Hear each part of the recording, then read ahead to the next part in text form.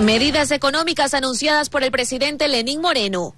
Se reducirán 20 instituciones entre ministerios, agencias y empresas públicas. Se suprimirá el Ministerio de Justicia y la SECOM. Se fusionará el Ministerio de Comercio Exterior con el de Industrias, el SRI con el Servicio de Aduanas, la Secretaría de Riesgos con el Ministerio de Defensa y el Ministerio de Ambiente con la Secretaría del Agua. También se suprimirán las embajadas en Bielorrusia, Angola, Argelia y ocho consulados más. Se ordenó la eliminación del Instituto Espacial Ecuatoriano, de la Secretaría de Límites Internos y la de Cualificaciones Profesionales, entre otras dependencias. Solo esto representa un ahorro anual de más de 60 millones de dólares.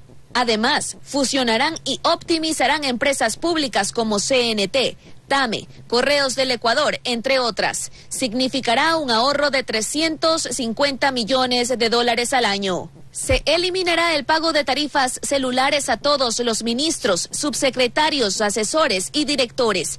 Asimismo, retirarán el personal de seguridad de todos los ministros, a excepción de aquellos que tengan un alto nivel de riesgo. Ese personal se destinará a la seguridad de los ciudadanos se venderán mil vehículos más del parque automotor del Estado.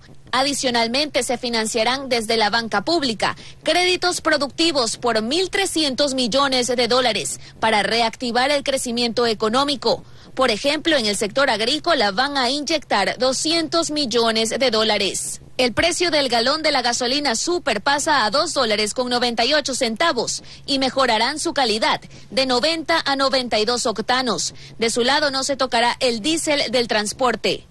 Se optimizará el subsidio al diésel para el sector empresarial. Muy bien.